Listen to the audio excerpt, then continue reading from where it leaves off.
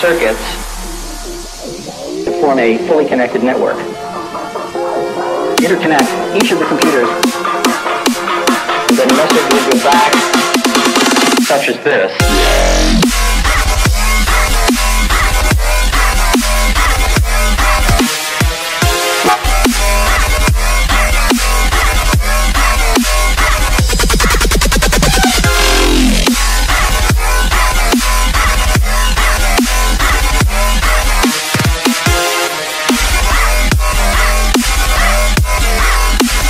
Break it down into thousand bit packets.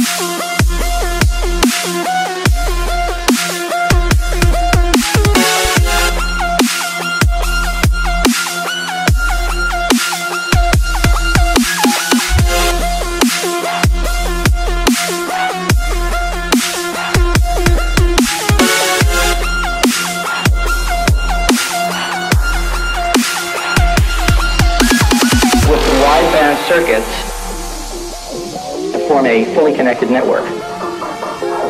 Interconnect each of the computers, and then a message will go back, such as this.